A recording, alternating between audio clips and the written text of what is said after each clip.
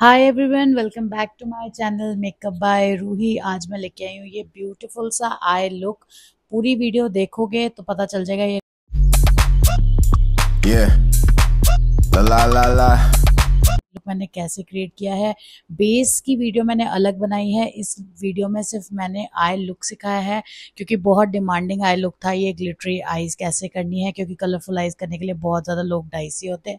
सो अपनी आई को पहले प्रेप कर लो कंसीलर से, उसके बाद कोई भी काजल पॉट काजल लेके उसको हल्का सा आइज़ के ऊपर स्मच कर लो। किसी भी तरीके से कर लेना, ज़्यादा कोई प्रिसाइजली करने की ज़रूरत नहीं है।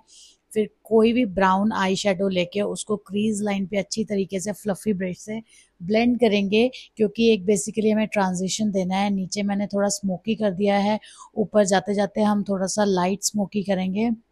उसके बाद हम करेंगे ग्रीन पिगमेंट क्योंकि ग्लिटर हम विदाउट पिगमेंट नहीं लगा सकते यहाँ पे मैंने स्विस ब्यूटी की पैलेट यूज़ करी है ग्रीन पिगमेंट के लिए। इसके ऊपर अब मैं ग्लिटर ग्लू लगा रही हूँ सेमी कट क्रीज पोजिशन में।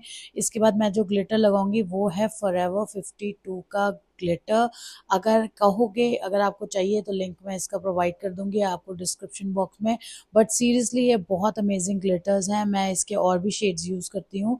मतलब कि इसकी जो स्पार्कलीनेस है बहुत ज़्यादा है। उसके बाद मैंने यहाँ पे लगाया है विंग्ड आईलाइनर और विंग्ड आईलाइनर ही लगाना पड़ता है ऐसे आई लुक में क्योंकि थोड़ा सा आईज हमें लिफ्टेड चाहिए होती है।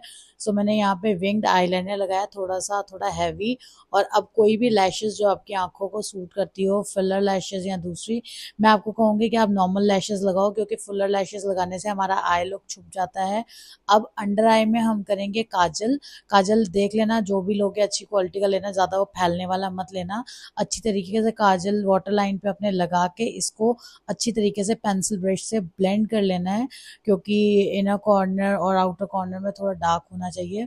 फिर जो मेरा इनर कॉर्नर है, उसमें मैं ग्रीन कलर का जो पिगमेंट मैंने आई पे लगाया था, वही मैं ग्रीन पिगमेंट लगाऊँगी इनर आईज के ऊपर सो दैट थोड़ा सा ट्रांजिशन वाला इफ़ेक्ट आ जाओ, बड़ा प्यारा लुक आएगा।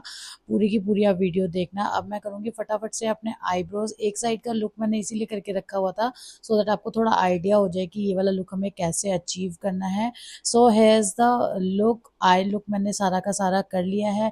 इसके बाद मैं करूँगी बेस बेस की वीडियो मैं अलग से पोस्ट करूँगी। सो वीडियो अगर अच्छी लगी हो तो प्लीज़ लाइक करो शेयर करो सब्सक्राइब करो और मिलते हैं जल्दी से नेक्स्ट अच्छी सी वीडियो में। बाय